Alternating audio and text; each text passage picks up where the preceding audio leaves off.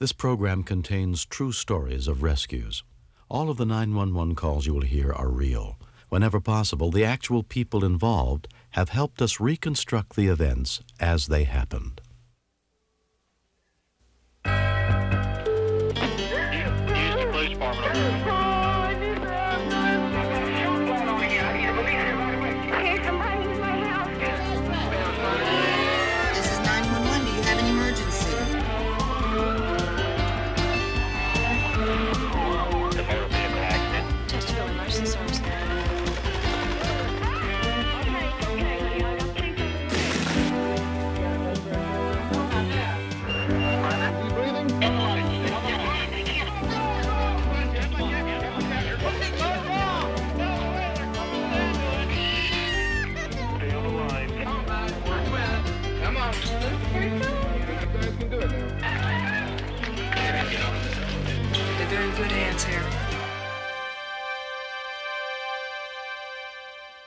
When a call for help comes in, the split second decisions of dispatchers may make the difference between life and death. I'm William Shatner. Tonight, true stories of unexpected danger and quick response on Rescue 911. We begin in Salt Lake City, Utah, just before Christmas on a chilly winter's night.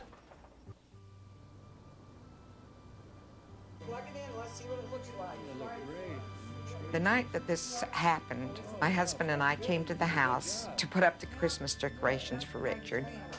And then Margaret came while we were putting up the tree. Margaret Fisher had been hired a few weeks earlier as a nurse's aide for 59 year old Richard Holt. A stroke and leg amputation had left him wheelchair bound. But until Margaret was hired, Richard had lived alone in the house. My brother has been a very sick man for a long time now. Margaret comes in in the evenings and stays overnight with him, does different things for him here in the house. Thank you. I don't know what we'd do without her.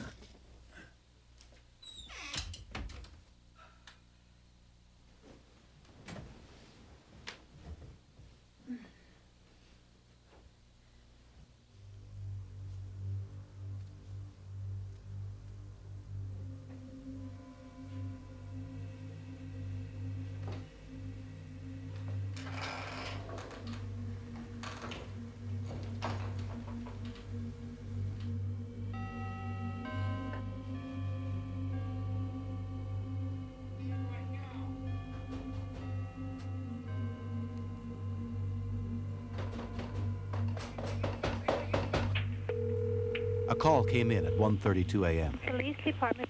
Laurie. Hi, my name is Margaret Fisher. Uh huh. There's somebody banging on this door, Okay. and he's trying to get in. This was a first for me. I'd only been on the phones minimum time when this happened. Laurie Anderson had been a dispatcher trainee for just six weeks. Do you know who this person is? No, Okay. And what is your last name? Oh, Oh, I'm sorry. I gave I'm a nurse. And Okay, you're Morgan Fisher, huh? Okay, is that him? That's Yeah. not your doorbell, is it? Yes. Okay, and you don't know this person. He just keeps trying to get in. Mhm. Okay. Was that your front door? Yes. I kept watching CJ to see if I was doing things right. Laurie's instructor, C.J. Prisbury, was monitoring the call. I'm at Mr. Holt's house. I'm taking care of him. Okay, are you calling? What's the phone number you're calling from Oh there? God, he's banging on the door. Okay.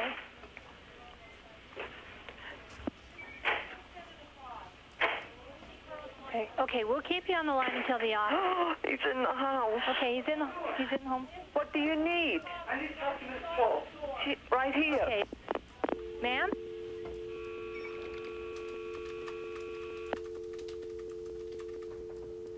When we continue, It probably would have. What is going on?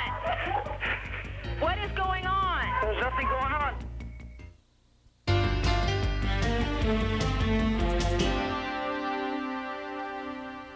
Dispatcher trainee Laurie Anderson had been on the job only six weeks when she received an unsettling 911 call. A woman named Margaret Fisher had said that a man was trying to break into the house. Seconds later, the line went dead. Police officers were immediately dispatched. Telephone a burglary in progress. Female complainant states a male is at the door, ringing it, trying to get in. 215 en route. 216 en route. When the phone went dead, I didn't know what was happening. We had no idea if this person we were talking with had been hurt. But at this point, CJ, my trainer, she knew it was time to step in and let me just listen. I'm going to make the call. We'd gotten her address, phone number, the usual information, and I tried to call her back. 5790 is the one I'm talking about, Di. Charlie 2115. The last time we talked to her, she stated he'd kicked the door in. We're calling back at this time. You never know why someone is forcing entry into someone else's home.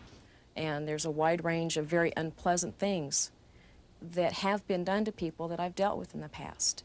And I just needed to know what was going on, if I could. Hello.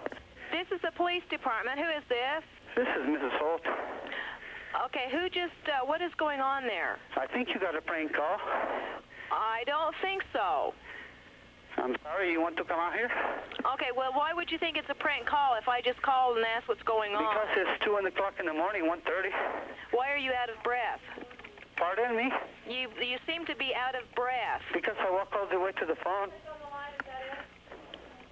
Well, this lady called in, and I could hear the the doorbell ringing over the phone, and I heard someone kicking on the door, and then I heard the door open up. So I don't think it's a prank. You, I think you need to tell me what's really happening there. Well, if you want to come out here, you come on out. Uh, We are out there, but I want you to tell me what's happening. 216-215, call back indicates uh, male on the line stating uh, he doesn't know what we're talking about. He's out of breath. Possible suspect. Your mind is going a million miles a second trying to think of something to keep him on the phone until the officers get there. If he's wasting his energy talking to me, he's not beating up on someone, he's not raping someone, he's not shooting someone. What is going on? There is nothing going on, miss. That is baloney. Why did this lady, very, very frightened, was on the phone? Who else is there in that house with you? Is there anyone else here? What? There's no one else here? There's somebody in the background, isn't there? Uh, hold on one second. What? Hi, this is the police department. Uh-huh. Were we just speaking with you? Uh-huh. And who is this man? I don't know. It's okay. Uh, No, it's not okay, and we're we're going to be inside your house in a second. But tell me who he is. uh, Do you know him? no. Does he belong there? No. Have you ever seen him before in your life? Uh-uh. Has he hurt you? Almost. Well, why don't you put him back on the phone with me, okay, ma'am? Uh, Tell him I want to talk to him again. he wants. They want to talk to you. Hello. Okay, please tell me what's going on. This is my mother here. She was just freaking out Okay, why couldn't you tell me this in the first place? because she was grabbing the phone from me. The thought ran through my mind we have little old ladies that get very confused that don't know who their family is. And the guy was so insistent that it was a very slight possibility. Everything's okay and she's just freaking out. Okay, now now let's just start from the beginning, okay? Sure. Why did you have to, you know, kick in your own door? Why is she so I didn't afraid? kick it in. She opened it. Son, I think. Why was she so afraid? Because she thought, I guess, she thought it was someone else. I don't know. She still sounded like she was afraid. Mom, are you afraid? This is not working. She said I, no. I, it doesn't matter what she just said. I want you to tell me what's, you know, what the deal is. We weren't sure what we had. It sounded more like a family fight. Officer Roger Williams arrived within two minutes. 216 in the area. 216-133. He waited outside for additional information and backup units. 215 arrived. 216, do you have anybody on the line at this time? 10 for the male. He's indicating that he thinks his mother's freaking out and that he kicked the door down to get in his own house. 10 I can hear noises now coming from the rear of the house. We had told the officers we had contact back in the house, so they were holding off. You may have a hostage situation if he knows that the police are outside, and that's the last thing we want. As far as I knew up to that point, there was a suspicious man and there was Miss Fisher in the house. All I wanted was to get to the bottom of what was happening. Okay, just start from the beginning, very simply. Okay, I came home from a bar, drunk, Uh huh. and when I came home, Uh huh. she was sitting there. She was all afraid. When you came home, she was on. You know, she called us after you started ringing the doorbell and kicking on the door. Yeah, because she thought it was someone else. Did you think of yelling out, "Mom, it's me"? Uh, no, I didn't. I'm sorry. It probably would have. What is going on? What is going on? There's nothing going on. Mrs. Baloney, tell me what's going on. There's nothing going on. Why is she screaming? Because No, that's bullshit. Not because. Tell me what is going on. there's nothing going on, Mom. That is baloney. I'm sorry. I, I don't think you think I'm a cretin that is going to think nothing's going on. there's nothing going on. That's baloney. I don't believe it for a second. And the line went dead. I wasn't sure what it was I heard. I didn't know who had been shot at or had been shot, if anyone had. She something happened and she screamed and there was a rustling around. I wanted to pick up the phone again and talk to me. I was totally cut off at that point from information. Units on Third West, mention of a gun. Officers Williams and Jensen rushed to cover the front and back exits. I walked up to the front door where I couldn't be seen. It came together real fast that it was a robbery.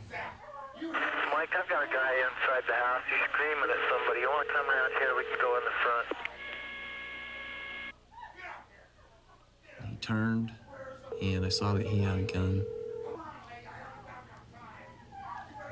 He was coming out the front door. We wanted to prevent a hostage situation and let him come out on his own. Got a gun. It runs through your mind, this may be it. Maybe the only way to stop him is with the use of deadly force. Are they inside yet? Police, drop the gun now! I can't. Get, this is, tell me what's happening. He got the gun and He's got a gun. Outside. They got him. What is he? Why is he? Is the police? Are the police there? Huh? Okay, the police have got this man. Yes. Okay. Do you have any idea who he is? No, I never seen him before. Are you okay? Are you okay? oh. Are you all right? Yeah. Did he hurt you But at all? I'm taking care of somebody that has had such a bad heart. I'm sorry. Do It was in that part of the conversation that I finally figured out there was a third person in the house. This Mr. Holt had the gun in the bedroom. He got out of bed and. Uh, Oh. I realized that Mr. Holt is the one that shot at the burglar. The police officer? The, talk to the policeman. Ma'am? Hello? Hello?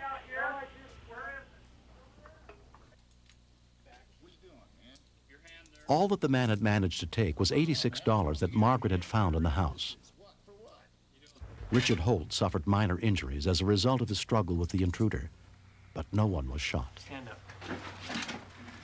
Come on, let's go. According to the details in the report, the guy was looking for an easy hit for some drug money. If the dispatcher hadn't have distracted him with the telephone, it could have really deteriorated into a serious situation. I think the, the lives of the older gentleman and the, the woman may have been in danger. There's no set plan. There's no policy or procedure you can, you can find to tell you how to handle stuff like that. It's something you learn after a long period of time doing this. Looking back on the situation, being a trainee, I think that if I had been on my own with this call, I may have believed him and said, okay, goodbye, rather than keeping him on the line. I've never talked to a burglar before. I've never had one pick up the phone before. They don't usually answer the phone.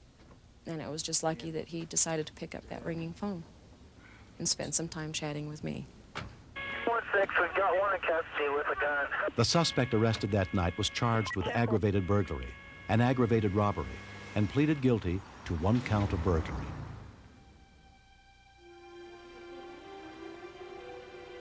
One month later, the events of that night still haunt Margaret and Richard. After I fired the gun, he just kept coming after me. It didn't phase him a bit. Richard remembers how close he came to losing his life. When the guy put the gun in my head, I thought it was all over. I really did. I know I could have been gone in a split second. The night after the incident, Margaret returned to take care of Richard. I was so scared. I was thinking that nobody was coming, nobody showed up, and I didn't know what to do. I started to run outside, and then I thought, what'll I do if he does something to Richard? She did one hell of a job. She stayed calm, she answered my questions, she kept picking up the phone, and she did as good with a bad situation as she possibly could. She's a lot of comfort to me. She's become a good friend of mine. And I look forward to her coming in at night. I really do.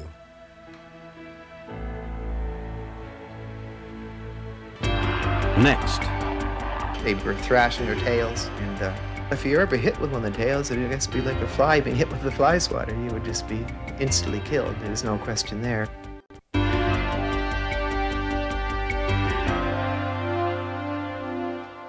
On the eastern coast of Canada lies the unspoiled beauty of Prince Edward Island. For hundreds of years, the local townsfolk made their living from fishing. On October 1st, 1989, an unlikely group of islanders banded together to try and give something back to the sea. It was a cold, windy Sunday morning in autumn. Fishery officer Florian Bryan was supposed to be on vacation. I received a phone call from a fellow fishery officer, Sheldon Bryan, advising that he had received a report that there was um, apparently what uh, was described to me as whales, or a whale, stranded at or near Cove Head Harbor. Florian immediately went to investigate. I just couldn't believe my eyes when I approached the entrance to the harbor there and I looked out, and all I could see was this mass configuration of animals or mammals of some shape or description on the shore. So I walked down to the uh, shoreline as close as I could get to the whales, and I realized by counting that there wasn't one. I was positive of five at least, and possibly a sixth. Six sperm whales, 40 to 65 feet in length, had become beached on a sandbar just offshore. Stranding expert Patricia Gray explained what would happen if they were not freed quickly. When a whale beaches itself, the weight of its body will press down on its internal organs. And uh, very often you can have, uh, a, you know, hemorrhaging taking place and uh, the lungs can fill up with blood, pools of blood. The other danger is that uh, just the combination of the sun and the wind can make them so hot that they cook to death. Whales can only live a certain period of time exposed and beached on the shore as such. It's hours, it's not days that we were dealing with here. I approached a couple of fishermen, Linus Meisner and Fred Morrison, who both fish from Cove Head Harbor, and I said, uh, the only chance I see of saving them is to uh, secure a rope to their tails and see if we can make an effort to pull them off. Basically, that's the only approach I have open. And he said, well, the first thing we need is boats if we're going to try and rescue them. So I said, that's no problem. I made sandwiches for the boat. We'll have to go out in the boat, and no doubt about it.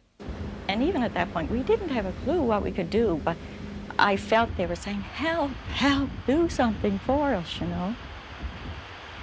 One of the older fishermen in the harbor, he jumped down in his boat and he threw up a brand new coil of three-quarter inch nylon rope. He said, here, use it. It's almost impossible to break it.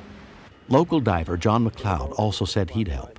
He and some other divers took on the difficult job of tying the rope to the whales. Yeah, if you think it's safe, we'll go with it. And if you feel there's any danger, it's it. We're not gonna, we're not gonna take any chances or risk any lives. I love nature. I do a lot of diving and enjoy what is in the water. So when you're confronted with one of the largest mammals in the world, we said to ourselves, I'm sure everyone felt the same, is that we have a very important job here to do. Let's give it 100% and see if we can get it done. Everything is okay. We've got the fishermen lined up with their boats and the divers are on their way. And everything's pretty well going in place. The plan was risky, but everyone agreed to it, including Patricia Gray. They had no other alternative to do what they could. Uh, there was, it would be absolutely impossible for them to try and lift the whales or to, to put a harness around them or to use a helicopter or anything like that. I mean, you're, you're looking at something that's 58 tons, you know, and that's a very, very large animal. There was quite a surf running in, and they were stranded on a sandbar. There was probably three to four feet of the whale embedded in the sand, being that the surf had washed it out. So you had to be very careful that you didn't get in between the whale and this hollow that they dug, because it would just roll over and squish you. They were thrashing their tails, and uh, if you ever hit with one of the tails, it'd I guess be like a fly being hit with the fly swatter. You would just be instantly killed. There's no question there.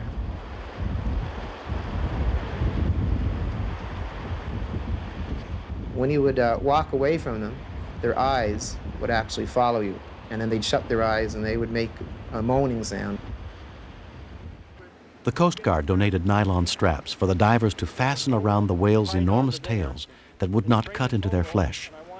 The helicopter pilot was then going to carry the rope to the boat. We discussed their plan of approach, which was to go out and walk up on each side of the whale about 8 to 10 feet from the whale and put the rope behind the tail of the whale, pull it back under, and secure it, whereby they would not come in direct contact with the whale so as to disturb them or make them upset.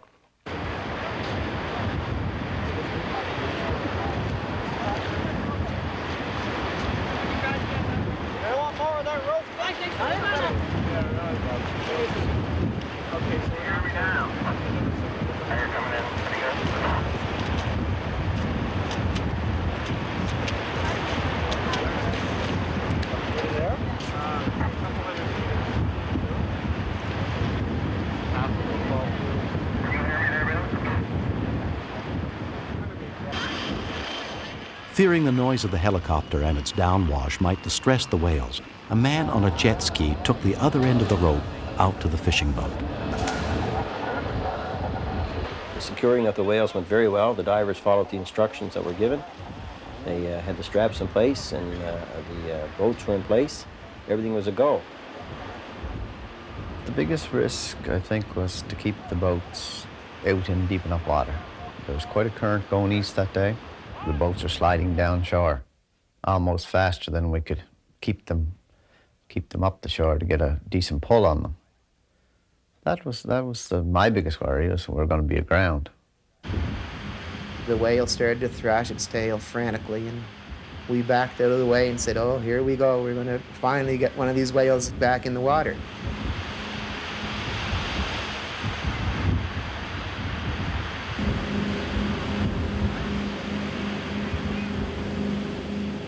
The rope just came hurling back like an elastic band. It broke that one inch nylon rope as if it was a piece of string. We made three attempts, and all three attempts failed.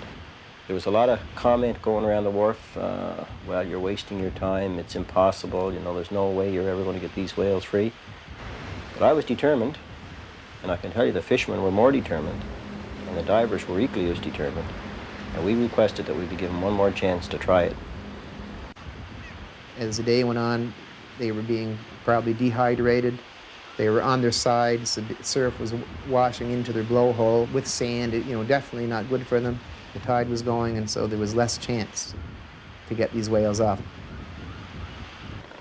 They located a stronger rope and rushed it to the scene. Everyone agreed to try one more time to pull the whale free. so there's your triple rope, okay? Right on. Take that down. So you come back and you put your bowl and your buoy Yeah, over here. yeah. And you got your end free to hook onto two-inch hawser. And if that doesn't pull them off, They tied the both boats together, the stern of one to the bow of the other. Uh, they could, would just keep enough pressure, like they would not mad lunges with the rope. They would just keep a nice steady pressure. Everything was just shaking aboard the boat, and, and he was flipping and flapping around there, and he must have dug a bigger hole.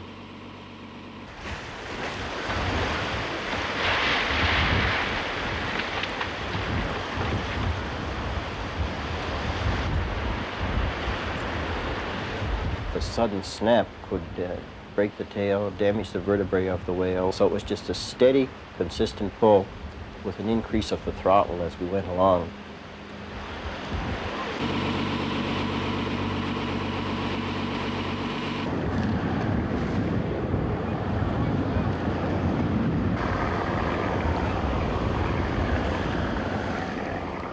I'll never forget the time as long as I live, at 6.14 that first big whale floated off the shore.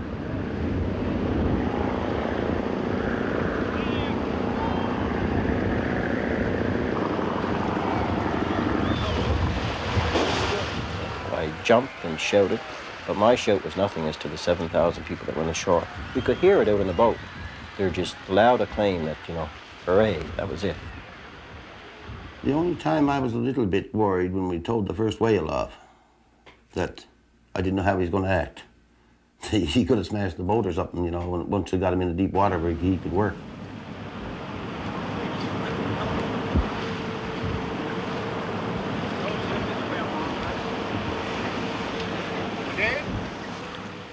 He just laid right quiet. We hauled up the tail up to the boat, cut the rope off, and then he swam away. I think they were smart enough to know that we were trying to help them. The tide was going out, and the job became more difficult. It took longer to tow the larger whales off. We made two or three attempts, like towing them at, at different angles. We were trying to rescue the whales, not in any means try to hurt them for sure.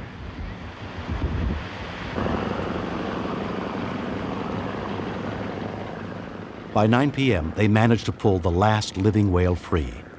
Only one had died before they could rescue it. To our satisfaction, we did get five off. All five were alive when we released them. It was just something inside that really hit me emotionally that you wanted to cry with joy, not sadness, but you just wanted to express yourself in, by crying. You felt so good. And when Linus Meisner gave me that high five going by in his boat that night, uh, I don't think I've ever experienced a feeling like that in my life. There was people, I don't know, biologists, I don't know who, said if you hook onto their tails, you're going to break their backs or... I said, it's the only way to do it. And we done it, and it's proved out. It felt good, you know. We had spent a, a lot of time and were cold and, had, you know, I guess we did risk our lives. At that time, we probably didn't think we actually were, but it was a very fulfilling feeling to see them being pulled out into deeper water. If we hadn't succeeded, I don't know how it would have felt, but uh, what the heck, we did succeed. And that feeling was there, and I still have it, and I'm going to have it until the day they put me down under.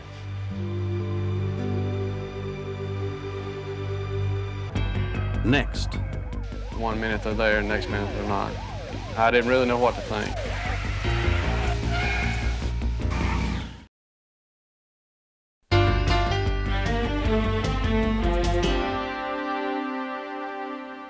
On an average day, the Mid-Georgia Ambulance Service receives dozens of calls for help and usually responds to the scene within eight minutes. But October 1st, 1989 was not just an average day. Around 3 in the afternoon, a call for help came into dispatcher Pam Bowman. Mid-Georgia Ambulance, right here. Uh, BSO calls it Thomaston Road and Bonnie Gilbert Road together, too, huh? Bonnie Gilbert Road. It was at least a two-car accident when it was called in. At this time, we didn't know that it would be more than that. Two-car accident, at least a two-car accident, Bonnie Gilbert Road, with injuries. Neil, you want to go on this one? Yeah. Yeah. Most of the time, if we have another truck available, the truck will back up that one, just in case there's more patients to be transported. It was pouring down rain, which it had been all day, and the roads were real slick. We had had a lot of accidents that day. Two ambulances headed to the scene with number 23 bringing up the rear.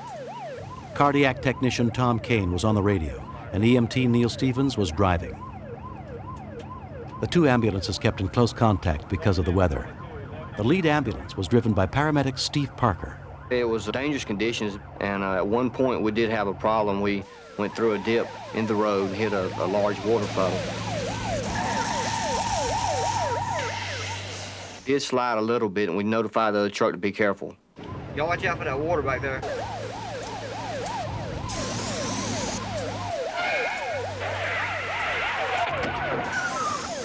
As they rounded a curve, the lead ambulance lost sight of number 23. One minute they're there, next minute they're not. I didn't really know what to think.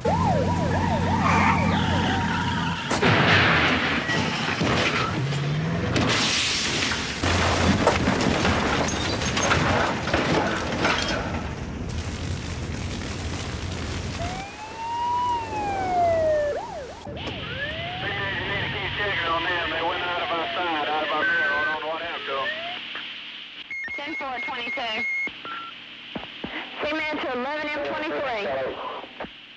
Tom and I were scheduled to get married, and the first thing I thought of was that they had seen an accident that maybe Steve had not seen, and they had stopped to render aid, and maybe they were out of the truck, which was why I tried on the big radio, because they would have a portable with them. Seaman to 11M23.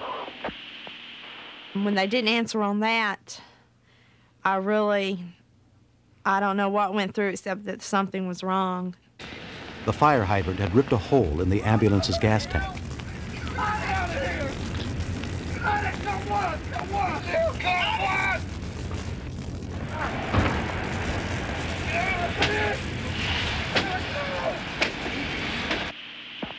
Seaman to 11M23. Seaman to 210. Just not knowing and being real scared and not wanting to think about the worst. But if you've ever worked this profession, then you've seen the worst and you know what vehicles can do. You know what the rain does, you know what the roads do. You have a situation called patient abandonment, that when you receive a call and uh, you do not respond for some reason, you can be held liable. So we continued on the call. You might want to send a unit over into the vicinity of Mercer University. I was nervous and upset. Steve came up on the radio and told me that maybe I needed to send um, the fire department over there to see what had happened to them. That maybe they had stopped for an accident or something was wrong.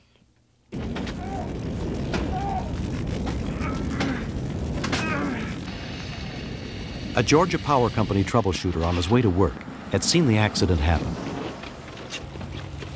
And as I ran over there, there was an opening in the windshield, just enough to get my fingers in there. He was a hefty guy, but just seemed like something just took over, just took control. The man finally managed to pull Tom out of the wreck, though Tom was twice his weight. I said to myself, there's no way I'm going back in there. And by that time, I was back in there.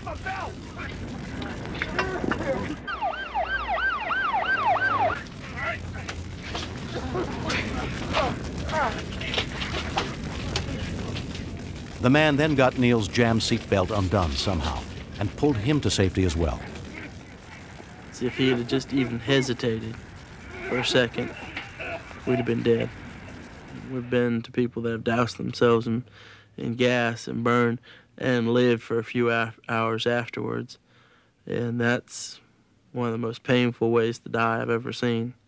And I've seen a lot of people die. I thought, how did I survive that? That's just remarkable. He's just an average built person. Obviously not real strong, not strong enough to miraculously pull a 350 pound Tom out of the ambulance. The only thing that I could explain how it happened would be the adrenaline that happens in a situation that way. Our bodies sometimes can be pushed further than we think. I never had that feeling before. It's just like a, a force, like energy. And I know if it wasn't for that feeling, that instinct, it wouldn't have happened.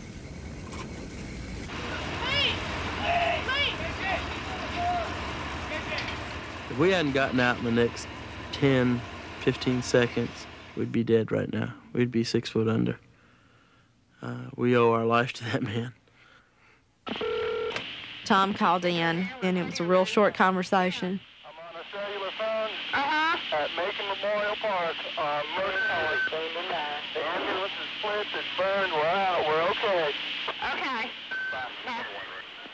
I wanted to know, I wanted to see for myself, and I knew I couldn't. And the fact that we couldn't do anything about it, that we had to still keep working as if nothing was wrong. If another call had came in, we'd st- I'd still have to take it. S- Steve and Tim still had to go on their call. And it wasn't that we didn't care or that we weren't real upset. It's just that's just what we do. Concerned that he would be late to work, the man simply got into his pickup and drove off without telling anyone his name.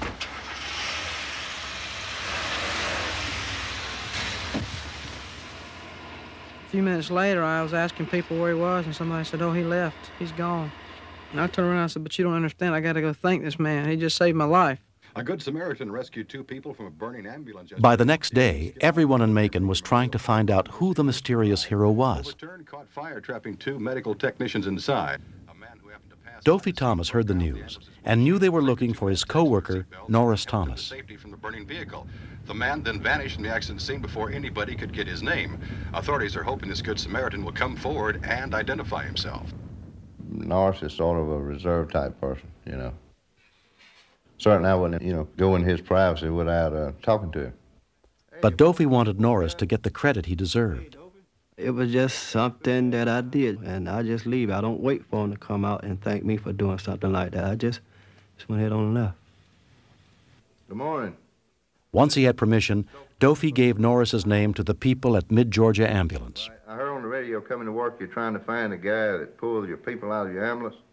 I, I kind of got excited because I, you know, I noticed, you know, word's kind of getting out what a good thing my buddy's done, you know. And I went up and shook his hand and, and told him on behalf of my family, uh, my parents and my wife, that I thank him for, for pulling me out. He told me, he said, let's just play this down. And I said, but Norris, what you did was, was out of the ordinary. I said, you saved my life. He said, Norris, you did a great thing. My job is to go out and save people's lives every chance I get. And he said, that's what you did. That's what you did for me. And, you know, I, I, I was stunned for a little while after he said that, and I, I never did realize that. I never did think about it that way. Two and a half months later, Pam and Tom were married. To be pulled out by a bystander instead of us pulling the bystander out, it's kind of a, a swap on the tables. And it's just, it's nice to know that somebody out there is willing to risk their lives for us.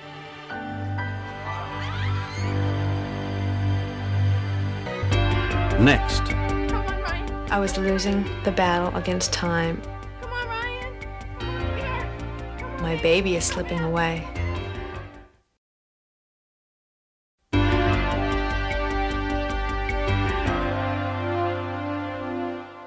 Twenty-eight-year-old Donna Boschel was well trained in life-saving techniques, and twice before she had used those skills to save the lives of two local children.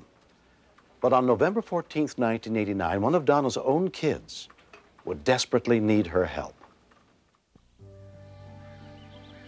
Donna had stayed in Norfolk, Virginia with her four kids, while her husband was overseas with the Navy. On that morning, she was home with her daughter Sarah and her youngest, 23-month-old Ryan.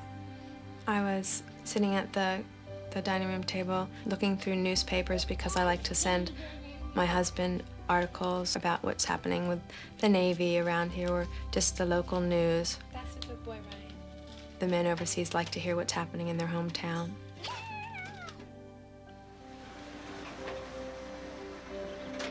Around 9 a.m., Robert Gower and Donald Coleman arrived to finish installing an air conditioning unit in back of Donna's house.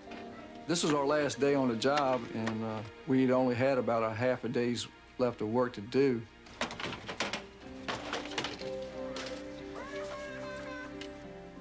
Being a mother of four children, I seem to be able to tune in to where my, what my kids are doing, even when they're out of my sight or if I'm not looking directly at them. Got your tape measure? No, I'm just get it. Take it over there and after you get your drill plug in, give me a measurement on that corner. All right.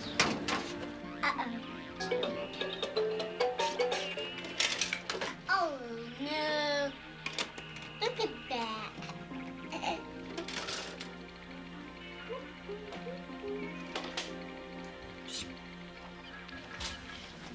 The first thing I noticed was the baby reach up on top of the TV.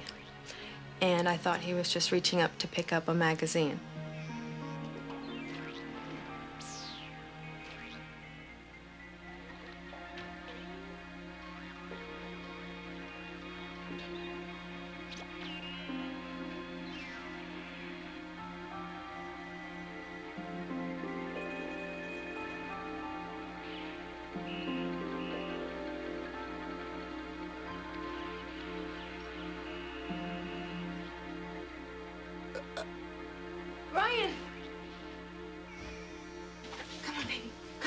Knew right away that he was choking on something, but I had no idea what. Mommy. Ryan, cough it up. Come on, Ryan. Cough it up, baby. Come on. Ryan. Ryan. Come on, Ryan. Ryan. Then there was no change at all. Oh, He still had a total blockage of air. I didn't see anybody, but I did see the contractor's truck. And then I thought the Heimlich maneuver. Ryan. Come on, Ryan. Come on, baby. Cough it up, baby. Come on. Come on, Ryan. Ryan. Ryan. I was losing the battle against time. Come on, Ryan. Come on, sweetheart. Come on, baby. My baby is slipping away. Come on, Ryan. I definitely needed help. It had been two minutes since Ryan stopped breathing. I really didn't know what we could do. Thought to myself, just go up there and try to do something. Neither of the men had training in first aid. Go down now and watch. Okay. Yeah, he's not breathing either, down.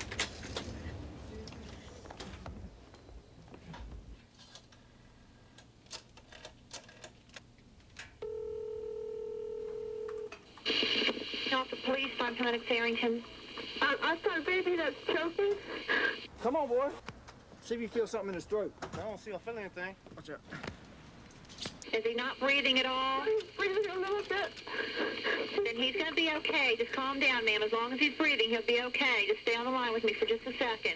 You know I absolutely, I just couldn't look. I don't think I wanted to know if the baby had passed out yet. I just couldn't handle it at that moment. He was struggling for air. I mean, I could tell he wasn't breathing. He was just like gasping, and uh, I said, you know, I thought to myself, man, we, we got problems here, you know. I don't know if it's gonna work, Donald. Come on. Uh, then I thought we let's try this Heimlich maneuver. Um, Let me try this. I didn't know how to do it, but I just I've seen pictures of it done and heard people talk about how it's done, so I just tried that. Come on, come on, boy. Spit it up. Come on, son. Wait a minute. Is he He's still choking. Oh, there it is. It was a marble. He just threw it up. Oh, God. Is he crying? Not yet. All right, get him to cry, ma'am, or is he is he doing okay? You all right? He's still in there. He's talking now. He is? You don't need a rescue unit? No. Okay, we'll go ahead and cancel it. Thank you. Uh-huh. It was like total relief. Oh, baby. I just picked him up and just wanted to hold him really tight and was so thankful that he was okay. He's Lucky. He's all right now, isn't he? Ready?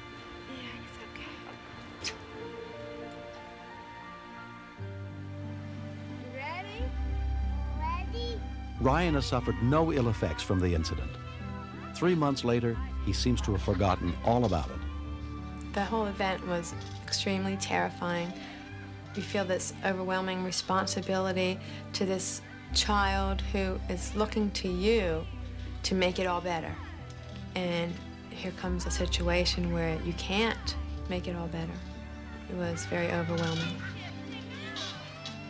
Sarah and Ryan are, are very close, so she's always looking out for him. I'm glad Ryan's okay because I love him. The emotional factor really kicks in when it's your own. I mean, it never crossed my mind not to help. I mean, how can somebody ask you to help her in a situation like that? How can you, you know, you can't say no. I didn't have time to think about it, really. I just ran up and tried to do what I could do, you know, and whatever I could do to help. I thought it was very ironic that they have no training, and I've been trained for 10 years. They didn't think twice about being getting involved.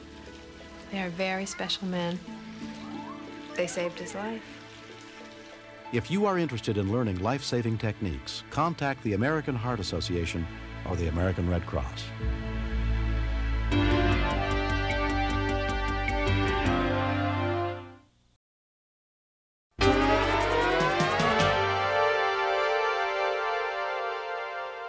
Many communities do not yet have 911, but emergency numbers for your area are listed inside the phone book, and children should be taught how to use them. This program is dedicated to the heroic men and women who risk their own lives to save the life of a stranger. I'm William Shatner. Join me next week for more true stories on Rescue 911.